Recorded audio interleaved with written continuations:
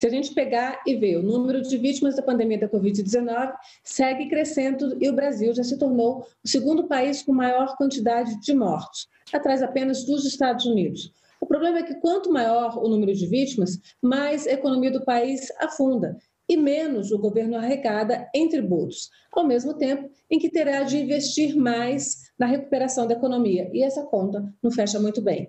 Na tentativa de evitar que os parlamentares mantenham desonerações tributárias de 17 setores produtivos, o ministro da Economia, Paulo Guedes, promete entregar nesta terça-feira ao Congresso Nacional sua contribuição para o debate da reforma tributária.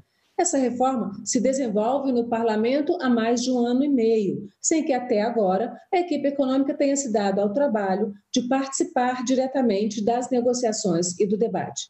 Mas a proposta de Guedes se restringe a uma simplificação do sistema, com a unificação de impostos cobrados pela União.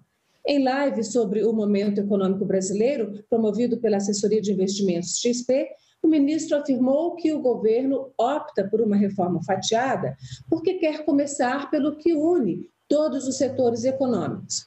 Ele citou a criação do Imposto sobre Valor Agregado, o IVA ou IVA, que deve substituir o PIS e a COFINS. Esse seria o IVA nacional, como um exemplo de ponto da União. A justificativa para a proposta apresentada com ares de urgência é a crise econômica provocada pela Covid-19. Outra votação que está na pauta do Congresso é a, a, perenização do Fundeb, que é o Fundo de Manutenção e Desenvolvimento da Educação Básica e de valores, valorização dos profissionais da educação.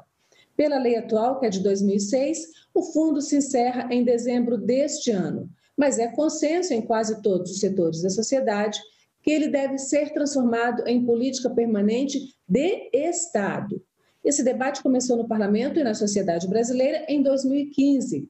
Mesmo assim, após um ano e meio de empossado, o governo Bolsonaro não apresentou nenhuma sugestão de melhora do projeto. Limitou-se a negociar, quando procurado, a redução dos valores solicitados. Esses valores eles foram solicitados pelos parlamentares, mas eles foram negociados e propostos pelos segmentos sociais envolvidos na construção desse projeto.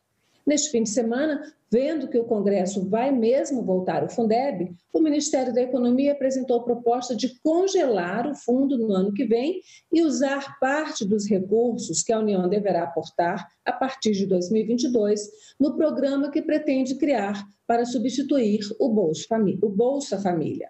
A proposta do governo foi recebida com incredulidade por diversos parlamentares envolvidos no debate.